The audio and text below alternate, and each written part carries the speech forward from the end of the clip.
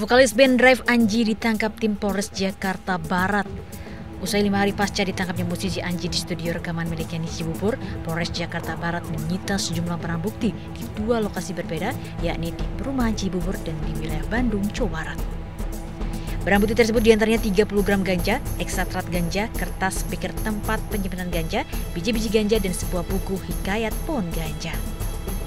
Menurut pengakuan Anji, barang haram tersebut didapatkan melalui situs luar negeri Amerika Serikat dengan menggunakan akun ID seseorang yang kini sedang diburu pihak kepolisian bekerja sama dengan cyber. Kepada polisi, Anji mengaku telah menggunakan narkotika jenis ganja sejak September 2020 lalu. Dirinya terpaksa menggunakan ganja untuk menjalani profesinya sebagai seniman agar lebih rileks.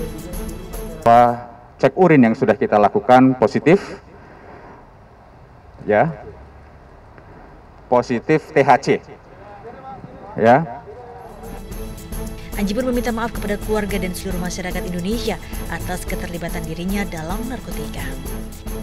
Ingin menyampaikan pertama ucapan permintaan maaf kepada keluarga, kerabat, sahabat, saudara, rekan-rekan kerja, pihak-pihak yang percaya kepada saya, dan juga seluruh masyarakat Indonesia yang kecewa atas kejadian ini.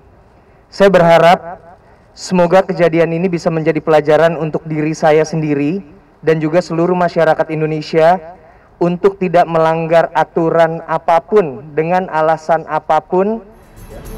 Anji dijerat pasal 112-127 tentang narkotika dengan ancaman hukuman 4 hingga 12 tahun penjara.